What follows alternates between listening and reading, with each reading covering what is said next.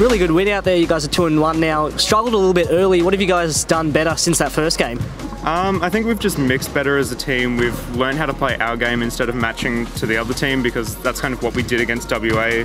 Our first half, we didn't play our game. We were matching their pace when we just needed to slow it down, take better shots, be smarter, and we were just freaking out basically. Where we're not doing that anymore. We know how to play. We know what we're capable of a little bit of a different team this year compared to last year. A few players gone who had pretty big roles last year. You've stepped up as captain. What's it been like taking more of a leadership role for you and a few others on the team? I think it's been really good for us, especially us growing into um, some of the Aussie development camps.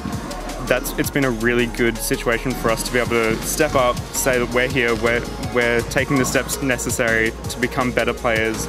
We're leading these players, leading the Victorian culture as best we can, and hopefully, hopefully leading into better things. For yourself personally, how does this tournament sort of help you, uh, you know, outside KCC, but for your future development and, and long-term goals?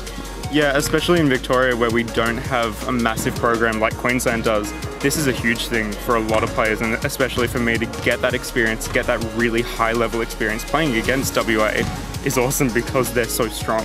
They're so good and playing against them is so good to develop your own skills because you don't get many other chances. You don't get many other other um, national championships to play against these players and really figure out what you need to build on. And uh, going forward the rest of the tournament for Victoria, what are some of the keys to, to continue winning these games? Just communication really is our big thing. Like just being smart, being switched on from the get-go.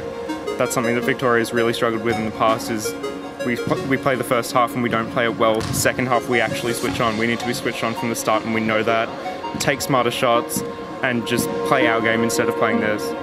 Great, thanks a lot, and uh, well done today. Yeah, thanks.